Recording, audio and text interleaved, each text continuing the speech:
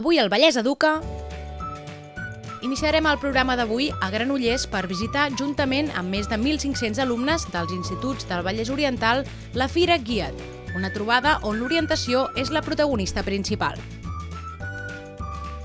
I tancarem amb un reportatge en profunditat a l'escola 11 de setembre de Sant Quirze del Vallès per parlar del seu projecte de glosa. Coneixerem els avantatges educatius i parlarem amb l'escriptor i professor sabadellenc Roc Casagran, que ens ajudarà a saber més sobre la glosa. Comencem!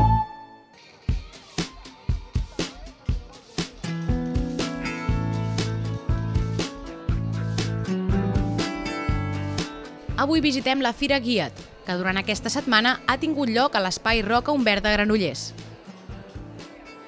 La Fira Guiat està organitzada pel Consell Comarcal del Vallès Oriental amb el suport de la Diputació de Barcelona, entre d'altres administracions, i arriba a la seva setena edició com un referent en l'orientació sobre els estudis postobligatoris que els alumnes poden trobar a la seva comarca. La Fira Guiat és una fira que neix eh, de la xarxa TET, liderada pel Consell Comarcal. La xarxa TET és la xarxa de transició escola-treball que en formem part uns quants municipis del Vallès Oriental, cada vegada en som més, i eh, sorgeix la idea de donar una mostra de l'oferta formativa que hi ha en la nostra comarca. Llavors la Fira Guiat sobretot s'orienta als joves que no tenen clar que volen seguir estudiant o que en molts casos tenen clar que no volen fer batxillerat, però potser l'oferta professional no la coneixen prou. Llavors, per això Fira Guiat és una fira adreçada bàsicament a fer la mostra d'ensenyaments professionals que hi ha a la comarca o comarques veïnes. La Fira Guiat és molt important pel concepte de proximitat entre tots els serveis i instituts formatives que n'hi ha a la comarca el, el nois, els joves necessiten un referent. Llavors, eh, és important que coneguin, coneguin totes les, les especialitats formatives i tot el que n'hi ha només en el seu municipi, sinó a la resta. Aquí ens movem més en un àmbit eh, comarcal, eh, el fet de, de que estigui tan a prop de l'institut, doncs, aquest punt de, de proximitat i de realitat, perquè la, la, el Saló de l'Ensenyament és, és, és un, un espai immens on hi ha moltes, moltes, moltes, moltes possibilitats a nivell nacional, internacional, etc. I molts alumnes quasi bé es queden enlluernats de, de, de, de tantes possibilitats. No? Aquí és una cosa més propera, més pròxima i en aquest sentit pot ser útil de cara al, al curs vinent. Jo penso que és un dels valors també afegits d'aquest tipus de fira, perquè és una fira d'àmbit comarcal, no té pretensió de créixer molt més, perquè perquè podem créixer sí, però sempre tenim molt clar que la proximitat i l'oferta del que hi ha a la comarca és, ha de ser el referent.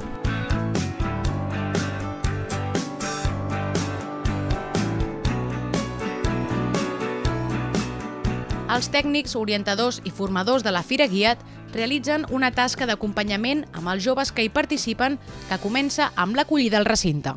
Som les orientadores d'acollida que diem que som les persones en què rebem els grups, expliquem el tríptic que heu trobat en la vostra cadira, en què consisteix, com el podem treballar, visualitzarem un vídeo molt, molt curtet de 3 minuts i després ja anireu a la sala principal.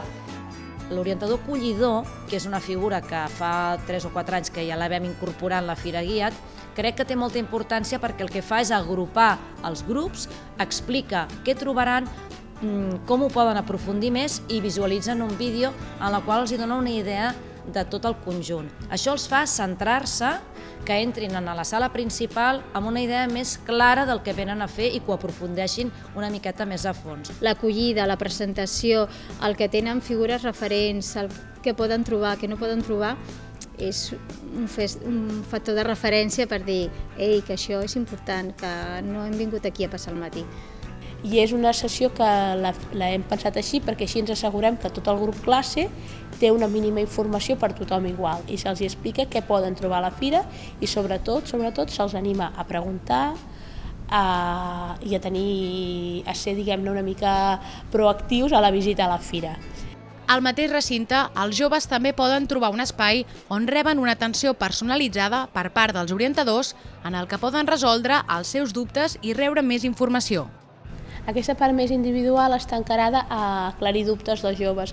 Molts nanos venen aquí, alguns tenen claríssim què volen estudiar, llavors van a l'orientació personalitzada i li diuen jo vull estudiar un cicle de grau mig, no sé, de, de farmàcia i vull saber, a part dels centres que hi ha aquí, quins centres ho puc fer, quines assignatures hauré de fer o quin, quins requisits necessito per fer una prova d'accés específica. Llavors hi ha un orientador un orientador que de forma personalitzada la té i resol dubtes. Bueno, jo crec que l'orientador personal és molt important, sobretot per als alumnes que ja eh, venen amb una idea del que volen fer o venen amb unes preguntes ja predisposades, val? O, o, o fins i tot, a mesura que van visitant els estants, els hi genera. Perquè l'orientador persona, personalitzat ja està preparat per rebre aquest tipus d'alumnat i els hi va explicant una mica l'itinerari a seguir d'investigar.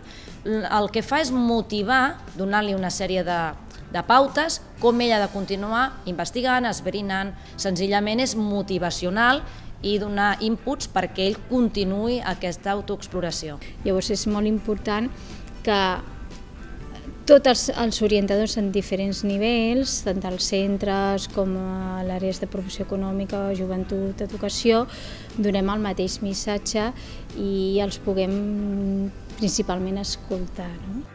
Durant el matí, els alumnes poden visitar els expositors veure demostracions i participar de xerrades que volen aprofundir en diferents àmbits amb l'objectiu de tenir més eines per poder decidir sobre el seu futur.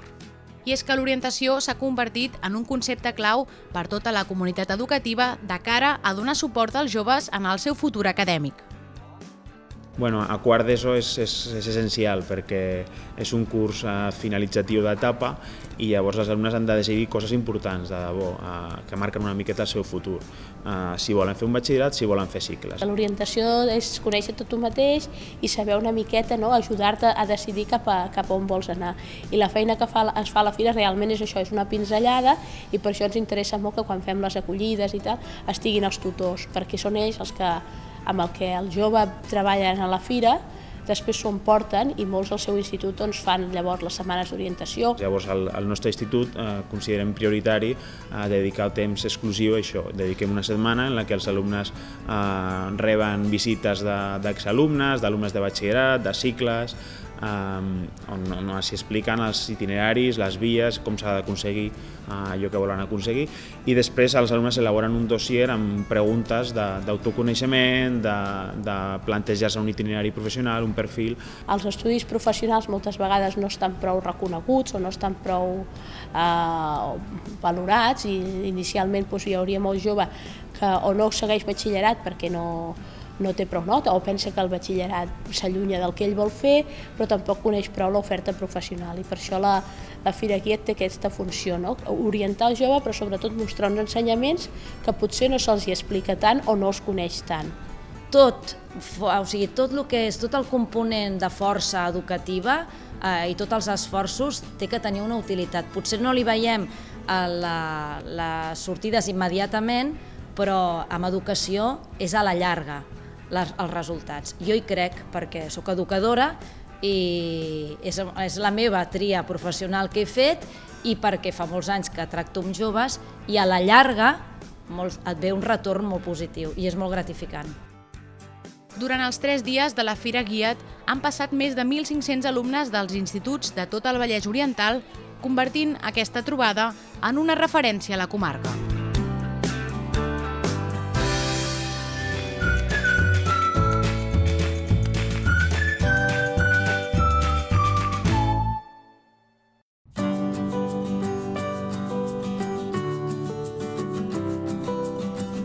Tanquem el programa d'avui fent un reportatge a l'escola 11 de setembre de Sant Quirze del Vallès. Ho fem després de passar tot un matí amb els alumnes de 5è i 6è fent el seu projecte de glosa. Però abans de parlar de com funciona i quins beneficis té, volem saber exactament què és la glosa. Per fer-ho, comptem amb l'ajuda de l'escriptor i professor Roc Casagran, amb qui ens vam trobar a la llibreria La Llar del Llibre de Sabadell. La glosa és la, és, és eh, inventar-se un text sobre una base musical ja establerta. En el fons això és el que moltes vegades, jo crec que tots hem fet una vegada o altra amb cançons conegudes, eh, i en, sovint quan parlem de glosa doncs parlem de melodies com ara són els garrotins, com són les nyacres, la jota, el cant d'estil valencià i també la, la glosa mallorquina i menorquina, que serien el, segurament un dels els pals més, més coneguts. Agafes una base melòdica ja establerta i improvises el text, la melodia no. La, la glosa és el nom que li donen a la cançó improvisada a Mallorca i a Menorca. El que passa que al Principat l'hem agafat com a genèric, però al Principat la glosa se canta en forma de jotes, de nyacres, corrandes, garrotins... La glosa serveix per fer broma, però la glosa també serveix per eh, declarar-se i per explicar l'amor, eh, serveix per explicar les penes. Eh, justament va anar a l'escola de Sant Quirze, eh, van tenir a Sant Quirze un cas molt, molt excepcional, que és la, la mort recent d'una exprofessora de l'Institut de Sant Quirze, la Salut Pastor, i en el seu enterrament s'hi va cantar glosa. Eh, a Mallorca i a Menorca la tradició de la glosa també és molt de denúncia social, és a dir, serveix per tot, per tot el que serveix la paraula. El projecte Glossa l'estem iniciant aquest any, estem tots molt contents, perquè la glossa és improvisar versos dintre d'una melodia coneguda. Clar, això què implica? Ho dius així i sembla una cosa molt, molt banal, però de seguida doncs, la professora de música, que és nova aquest any a l'escola, ens va implicar en aquest projecte perquè vam veure que era molt bo. La meva percepció és que venim de potser 10 anys enrere que ningú feia glos a l'escola i eh, a poc a poc hi ha hagut algú que s'ha començat a atrevir. Des de la universitat s'han fet eh, estudis de la repercussió que, que pot portar la, la glosa en, quan ho treballes a l'escola. Per tant, jo seria optimista en el sentit que em sembla que va creixent a poc a poc i potser ja està bé perquè vol dir que els fonaments són ferms, però va creixent. La foto que hem vist hi ha un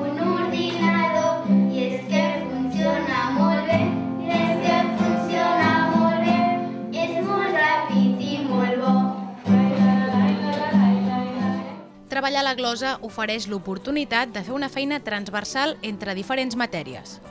Sens dubte, el motor principal és la música, però no és menys important el paper del català i la plàstica, que participen activament en el projecte. I per encaixar totes les rimes i improvisacions, les matemàtiques també juguen un paper capdalt.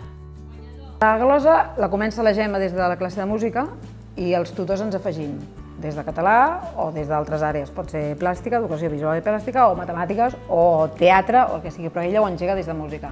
Ella, a més a més, ens dona les pautes ens dona les sessions que hem de fer cada setmana, doncs si és, ha de ser de jocs de mètrica o ha de ser eh, improvisació, però ella és la que ho treballa sobretot des de música. I nosaltres ho fem, i ho fem eh, els dos cinquers i els dos sisès. Em sembla que és una, em sembla que és una iniciativa molt, molt interessant i que, que porta moltes més coses, que va molt més enllà de la simple activitat que es fa dins d'una assignatura concreta, una matèria concreta. Em sembla que una de les coses que proporciona la glosa és el treball eh, diguéssim, extensiu a, a moltes matèries diverses. Clar, eh, per una banda ho treballaran les tutores a l'àrea de català, que es podria fer també en castellà o en anglès, o sigui, serien diferents, ja no seria glossa, li hauríem de dir un altre nom, però també es podria fer. I per una altra part també ho està treballant la professora de música amb el mm, treball del ritme, no? de la consecució de, de la frase musical. Jo, per exemple, en català sobretot, o en castellà, perquè també es pot glosar en castellà, tot i que no ho fem tant, eh? però sobretot en català, amb matemàtiques, amb la mètrica, els heptasíl·labs, les quartetes, amb plàstica també, Uh, per exemple, nosaltres que hem acabat fent els contes de la Caputxeta, clar, treballes la dicció, treballes la posta en escena, treballes uh, com, com la, la posició corporal, o sigui, treballes des de diferents àmbits. Quan ve la televisió, Ui com està la gira i molt tranquil i torça i molts nervis i molta gent inspira. Des de música fas treball de melodia, pots fer treball d'acompanyament, pots fer treball de postura, de dicció, d'afinació, sobretot.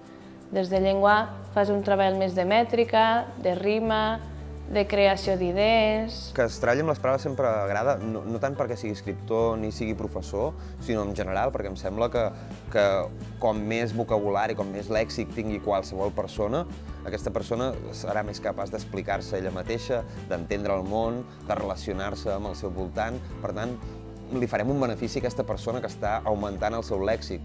Per una qüestió de necessitat, si tu estàs fent glosa, com més sinònims sàpigues, més fàcil et serà aconseguir fer una rima.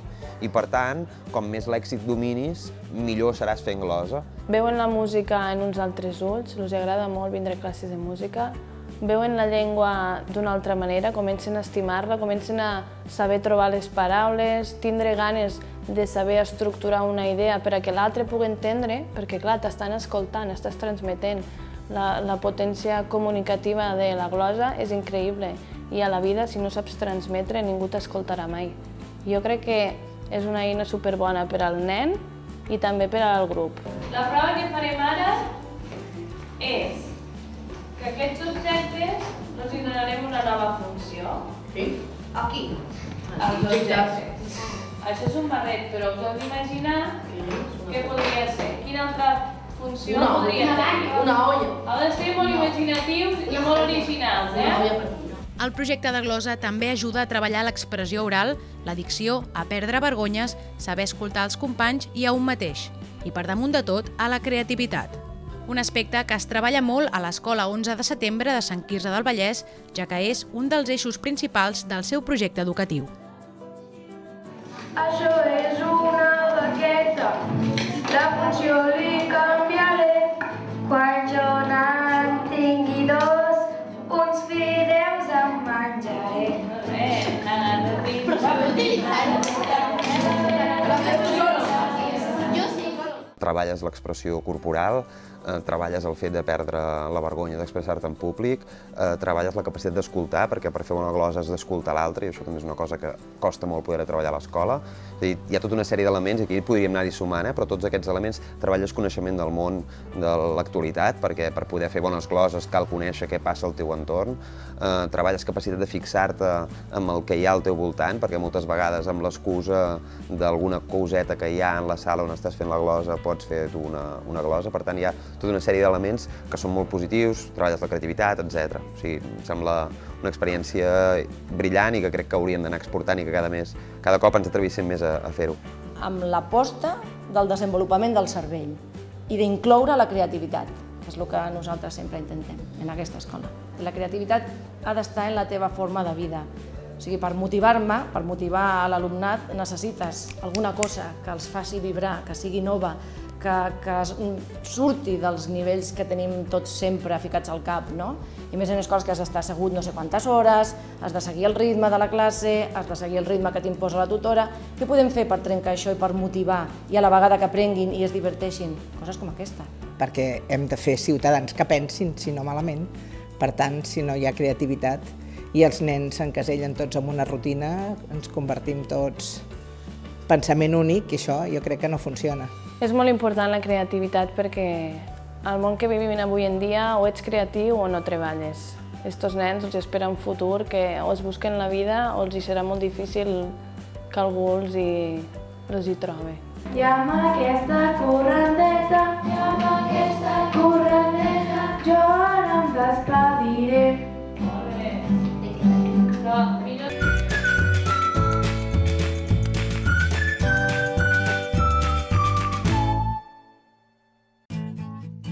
Transports Urbans de Sabadell millora la seva xarxa per tal d'aconseguir uns trajectes més ràpids i directes.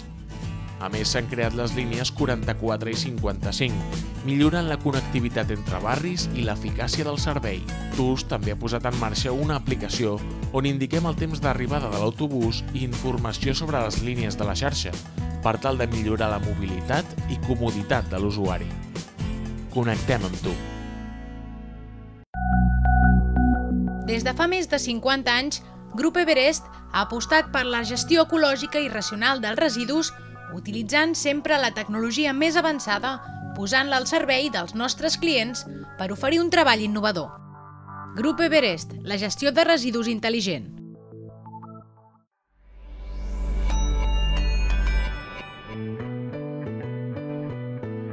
I Sabadell és informació. És imatge i vídeo. És implicació. I Sabadell és interactiu. Imaginatiu i independent. Ahir Sabadell volem sumar, incloure. Segueix Ahir Sabadell.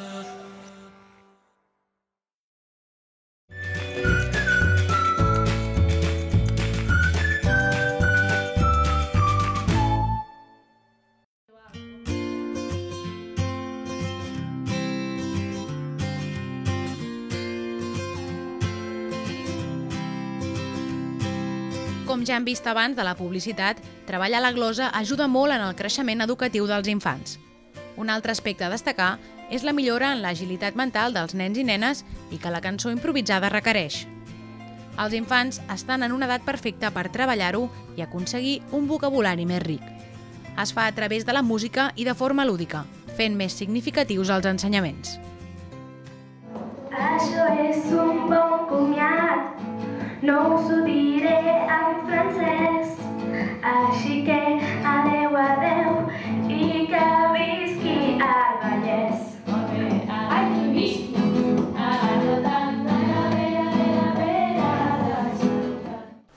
quan sent que algú parla de, de glosa, la primera cosa que li ve al cap és hòstia, que difícil eh, que és fer això, no? que, que difícil que en, en, en 10 segons puguis crear una quarteta en què hi hagi rima, en què els versos siguin etasilàbics, que difícil. I això és una qüestió de pràctica, de treball i d'insistència, i amb els nanos això funciona molt, i els acostumem a altres coses, els acostumem a aprendre a empollar, per exemple, i els ensenyem moltes tècniques de memorització i a vegades ens costa treballar aquesta agilitat mental, que és el que després a la vida també ens donarà unes, uns, unes solucions per, pel nostre dia a dia. A banda que també fem càlcul mental, eh? però és importantíssim. I a més a més ho veus, que hi ha un procés, no? des de que vam començar, que costava no? trobar una paraula que rimi amb una altra. La segona i la quarta han de rimar, costava molt, ara és molt més àgil i ja tenen com trampetes no? de dir vaig a buscar quines paraules em rimen i a més a més que tinguin un contingut la quarteta, no? que, que digui alguna cosa. Sobretot en la rapidesa que té la glossa, no? has de, has de pensar-ho i dir-ho. I a la vegada ha de ser, ha de rimar amb l'altra paraula que diguis. Has de tenir un bagatge de vocabulari important. La veritat és que hem notat molta diferència, perquè des de quan vam començar a ara, doncs hi ha hagut un canvi molt positiu i la veritat és que ara dius heu de fer això i ho fan molt ràpid. El més important és que és una cosa significativa. A vegades a classe aprenem coses que després se mos obliden i això sempre els hi servirà per a saber sintetitzar idees, per a saber contestar algú altre argumentant una opinió, per a tindre més esperit crític. Els beneficis educatius de fer glosa a l'escola són molt amplis, però si una cosa vam poder comprovar és que les classes són divertides i motivadores. Els nens canten en grup, col·laboren i s'ajuden els uns als altres. La veritat, vam passar un matí molt divertit amb els infants de l'escola 11 de setembre entre garrotins, dominers, corrandes, jotes i nyacres. Els ulls molt grossos són per veure'n molt millor. També tens les dents molt llargues per menjar-te amb guarnició. Ah! Ah! El garrotant de la vera, vera, vera de Sant Joan. El garrotín, el garrotant... La glosa, a més a més, el que fa és cohesionar tota l'escola, perquè aquí, per exemple, només arribar ja la, l'actuació de Nadal de música la van presentar en garrotins. I ja va ser com una cosa que va encantar la gent.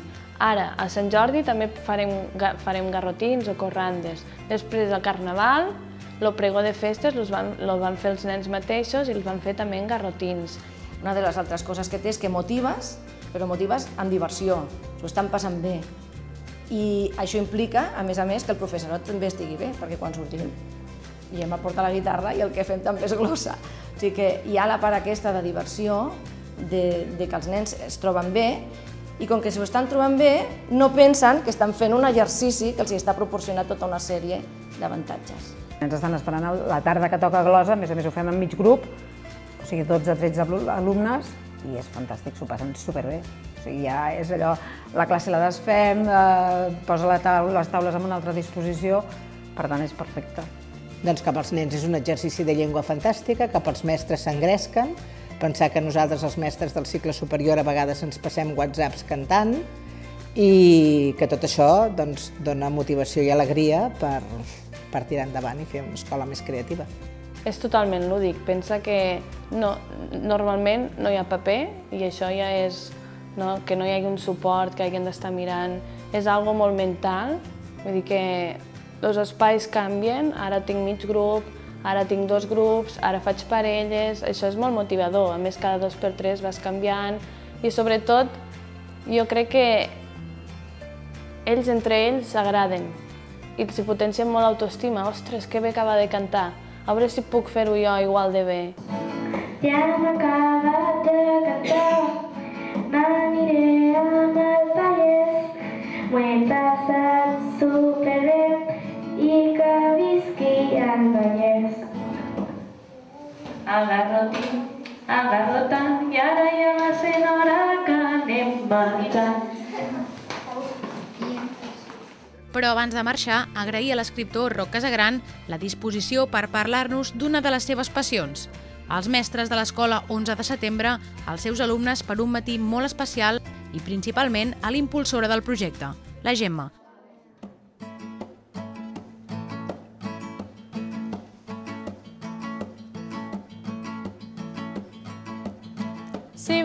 Fer un nou projecte, un projecte innovador, apunteu-vos a la glosa que improvisa és lo millor. Agarrotina i garrotant de la vera de la vera de Sant Joan. Agarrotín, agarrotant de la vera, vera, vera de Sant Joan. I si això no us convenç, podreu triar i remenar. Mireu el Vallès Educa i comenceu a innovar. Agarrotín, agarrotant de la vera de la vera de Sant Joan. Agarrotín, agarrotant de la vera de la vera de Sant Joan. Gràcies i fins aviat.